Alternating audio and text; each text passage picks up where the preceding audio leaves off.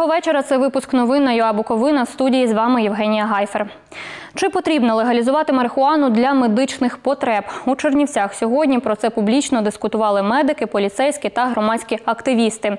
Що про це думають чернівецькі лікарі та ті, хто потребує знеболення? У 25 років Олі Гердезі поставили діагноз рак лімфатичної системи. За три роки дівчина пройшла 30 курсів хіміотерапії та 18 променевої. Оля лікується досі. Каже, деякі препарати дають багато побічних ефектів: втрату апетиту, безсоння, а сама пухлина завдає болю, тож доводиться вживати сильнодіючі знеболювальні. У мене були моменти жахливі насправді, коли е, саме почуття було, що я не могла встати з ліжка, обезболюючі не допомагали. І е, ну, навіть е, морфій приписували мені вже. І в той момент, от, наприклад, мені в певний період допомагала от, мед- медично, скажімо так, от марихуана. Оля каже, за три роки двічі полегшувала біль за допомогою марихуани. Хтось взагалі вважає, що чує про марихуану і думає, що це от якісь наркотики, все ти наркоман, і я як так і можливо. Тобто нам потрібно змінювати стереотипи, і тим, кому це потрібно, не боятися сказати. Застосовує- Застосовується марихуана вже в взагалі в усьому світі практикується в медичних цілях.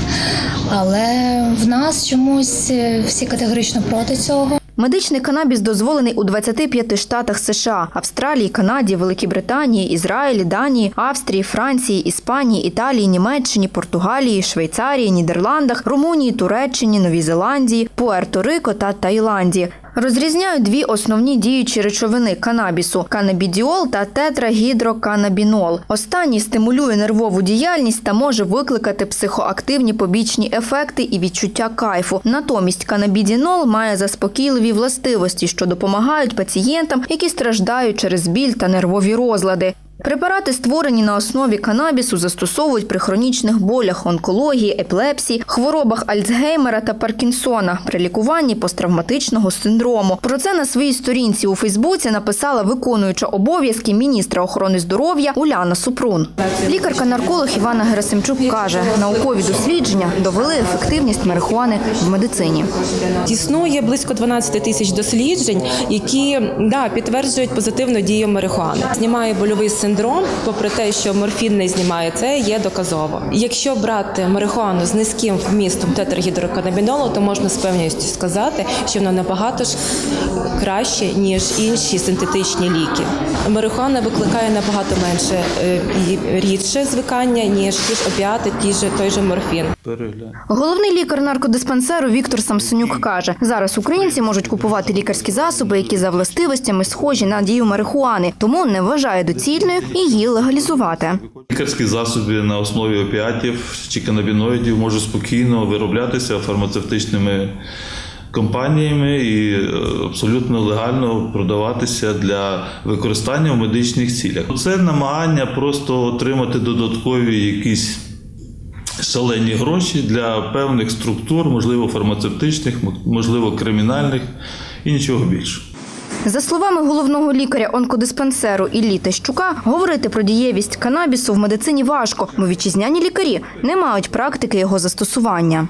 Нам здається, що чим буде легше пацієнту переносити або елемент лікування, або переносити больовий синдром, то це завжди мо- можна вважати плюсом. Е, Є великий мінус, чи взагалі готове наше суспільство до таких впроваджень. Я вважаю, що е, зараз є доволі велика кількість і таблетованих форм, які є зручними в використанні е, опіоїдних аналгетиків, і таблетовані форми морфіну 30 січня на сайті Верховної Ради зареєстрували петицію законодавчо врегулювати доступ пацієнтів до медичного канабісу. Вона вже набрала більше 23,5 тисяч голосів. Вікторія Танасійчук, Сергій Третяк, Роман Пилатик. ЮА Буковина. Члени національної дружини Чернівці вимагали припинити публічну дискусію щодо легалізації марихуани у Чернівцях. Аргументували це тим, що не можна легалізувати наркотики.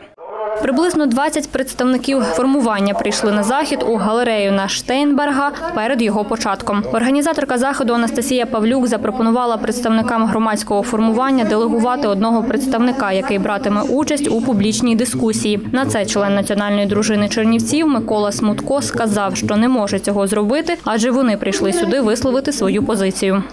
Вона не може бути легалізована навіть у медичних цілях, оскільки марихуана вона є наркотиком. Не можна хворобу лікувати хворобою. Прохання до вас і не порушувати далі громадський порядок. Ми тут не є у Верховній Раді, ми не є в ніякому комітеті, комітеті ніякі рішення ми тут не приймаємо. Тут люди зібралися для обговорення тієї теми, яка цікавить в принципі все суспільство, так само як і вас. Згодом члени національної дружини покинули захід. Перше судове засідання у першотравневому районному суді Чернівців у справі Ростислава Білика перенесли. На розгляд не з'явився адвокат Білика. У заяві він написав, що зараз перебуває у Києві і не зміг купити квитки до Чернівців. Вказані обставини об'єктивно унеможливлюють його участь у судовому засіданні 7.03.2019 року. Тому просив визнати поважними причини його неприбуття на виклик Нагадаємо, Ростислава Білика обвинувачують у підкупі студентів на місцевих виборах 2015 року. У лютому 2018 року справу Білика почали розглядати у Шевченківському районному суді Чернівців. 17 жовтня припинилися повноваження судді Олега Семенка, який вів цю справу. У грудні її передали у першотравневий районний суд. Після того знову розпочалися підготовчі засідання, і сьогодні мали розпочати судовий розгляд цієї справи. Засідання перенесли на невизначений термін. Ремонтні роботи на проспекті Незалежності відновили тиждень тому. Зараз тут, за словами головного інженера фірми Євробуд, знімають останній шар асфальту перед укладанням нового покриття. Вчора в соцмережі Фейсбук з'явилося відео, на якому кілька дорожників осушують калюжу лопатами, вичерпують воду, а носять її у дорожніх конусах, використовуючи їх як відра. На цьому відео троє робітників лопатами черпають воду з ями на проспекті Незалежності у Чернівцях. Далі вони заливають воду в дорожні пластмасові конуси та виливають її за декілька метрів від ями.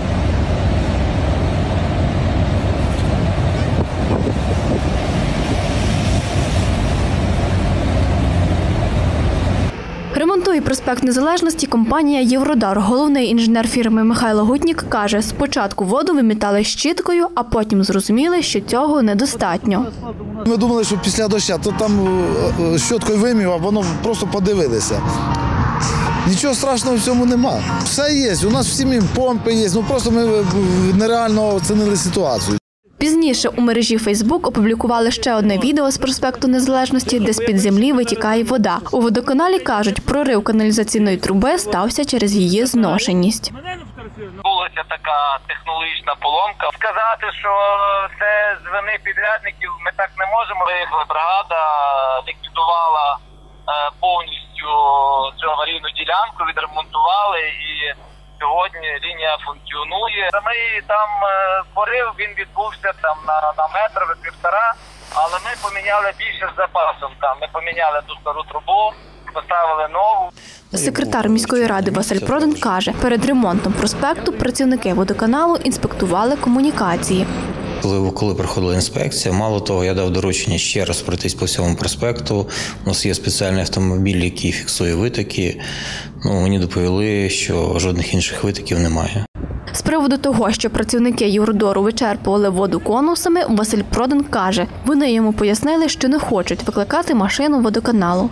Да, воно виглядає смішно, да, воно виглядає неправильно, мало того, воно виглядає обурливо. Але каже, так, ми могли витратити е, 20 тисяч гривень для того, щоб ви- викликати спеціальний автомобіль і висушити ту калюжу. Ну, прийняли таке рішення на місці. Ну, людський фактор. Я не можу стати біля кожного працівника. Капітальний ремонт проспекту Незалежності вартує 80 мільйонів гривень. Згідно з договором, компанія має завершити капітальний ремонт до 1 липня 2019 року. Христина Тимофійчук, Роман Пилатик, Володимир Дорош, ЮА, Буковина. У селі Бережниця біля сільської церкви вже понад 10 годин стоять прихильники Православної церкви України. Вони намагаються потрапити всередину, утім священик Православної церкви України Московського патріархату не впускає їх. За словами сільського голови, всередині церкви є люди. Настоятель церкви ж каже, у храмі жителі села Бережниця, які не хочуть, аби храм переходив в Православну церкву України. За словами прес-секретарки головного управління Національної поліції області Тетяни Андрійчук, там відбуваються богослужіння двох церковних громад. Поліція охороняє громадський порядок.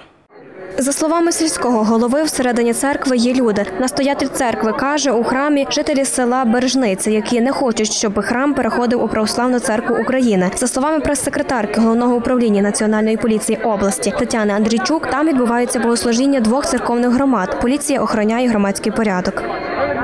Ці люди прийшли до церкви вирішити питання е, стосовно того, що вони повинні і хочуть е, відвідувати цю церкву, бо вони є власниками, верніше членами цієї релігійної громади. І на церкву приймали участь в будівня- будівництві цієї церкви. Священники ФСО хочуть відобрати храм. А яким чином? Вони хочуть тим чином, щоб віддати чи або ламати двері зараз. Ну чому не пускаєте іншу частину людей у церкву? Що вони прийшли з іншими священниками іншої конфесії, священниками Київського патріархату. 5 березня ЦВК скасувала реєстрацію львівського міського голови, лідера партії «Самопоміч» Андрія Садового. Він зняв свою кандидатуру, щоб підтримати лідера громадянської позиції Анатолія Гриценка. Ця угода має один пункт. Як ви знаєте, я відкликав свою кандидатуру на пост президента і є зобов'язання до Анатолія Гриценка бути чесним. Правда. Це не формат, можливо, для української політики. Насправді у нас довга історія, цінності базові співпадають, і тому виписувати зараз все немає сенсу. І в цьому одному ємному слові я бачу для себе велику відповідальність і обіцяю, не підведу. І я тепер розумію, що мені треба виконувати дві президентські програми і свою, і Андрія Івановича. Сьогодні вони підписали угоду про об'єднання зусиль на президентських виборах. Садовий назвав Гриценка чесним політиком, а Гриценко сказав, у їхніх команд зберігаються базові цінності. Це була вся інформація на сьогодні. Не перемикайте, залишайтесь телеканалом «Я Буковина».